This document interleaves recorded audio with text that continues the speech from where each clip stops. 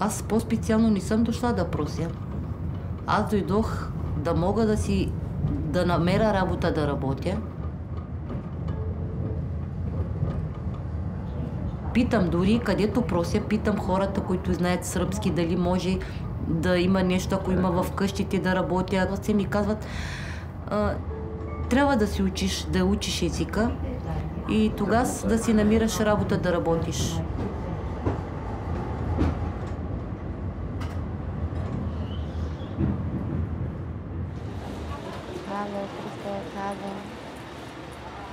На нас не ни е добре да си оставим родното място в България ни, но няма какво да се работи.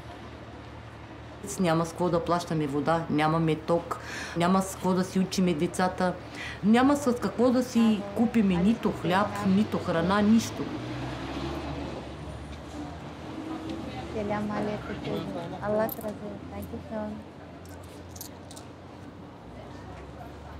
Много пъти съм чувала да ни казват, че сме мафия. Аз много грозно ми става, много обиждано ми става тази дума.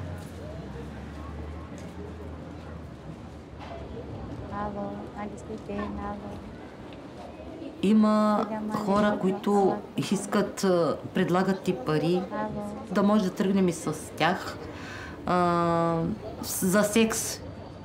И като има за братка, нямаме такива проблеми.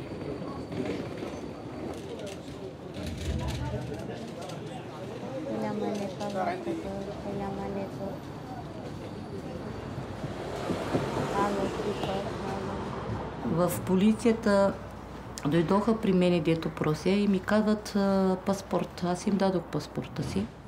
И почнаха да си слагат ръкавици. Сено, че съм най-голямата престъпничка. Скачват ме в една друга кола и ме закарват в полицията.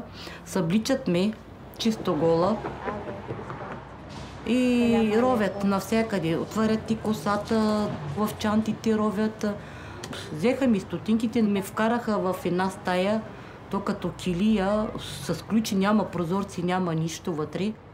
Мина се 4 часа, една преводачка дойде, говори на български, но тя изобщо не ми обяснява като хората. Взеха и, и ми казаха, глобяваме ти 400 евро. И ме изкараха навън.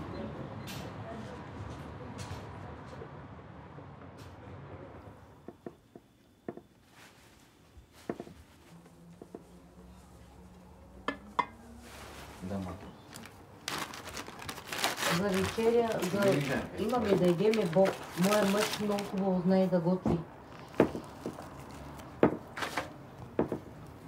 Сега сме в една малка стая. Май... Сина ми, снаха ми, аз мъжа ми. Много е тясно, но поне имаме къде да спим и много. 20 евро на вечер плащаме.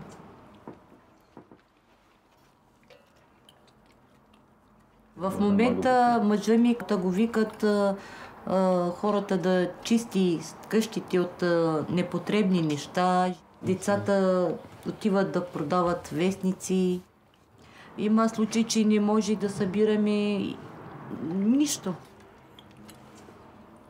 Ама нашия хазаин, благодарение на Господ, пак е добър. Като изкарваме някой път повече, той ни изчаква.